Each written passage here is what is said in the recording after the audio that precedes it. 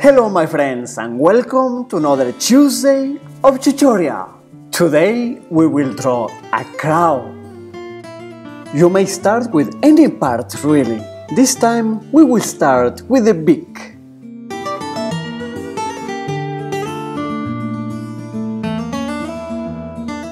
Then we'll do the silhouette of the body.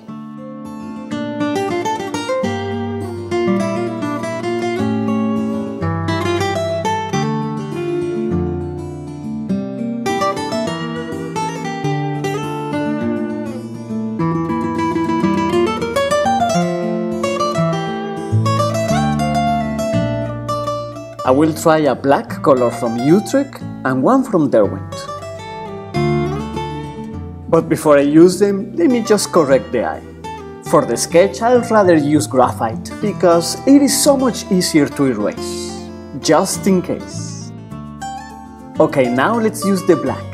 As you can see, this is darker than what we could get with the graphite. This is just the black of a color pencil set.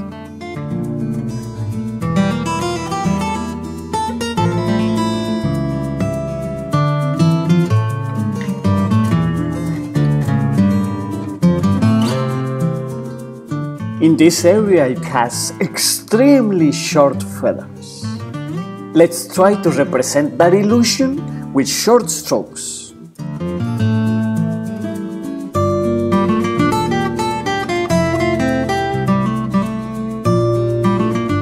Some feathers are going to be reflecting light and therefore they are going to be a lot lighter.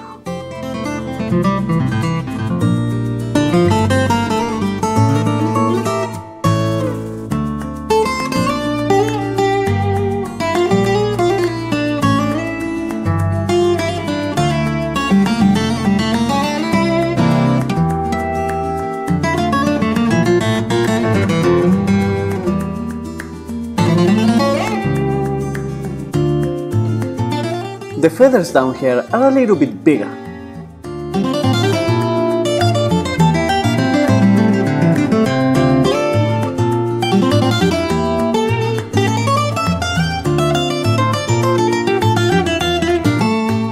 With graphite we can give a very light tone to the background.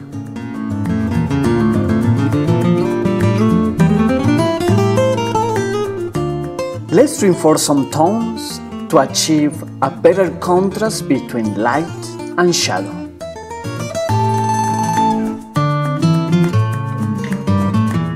In the comments please let me know what do you think about it and whether you would like me to do more animals or not.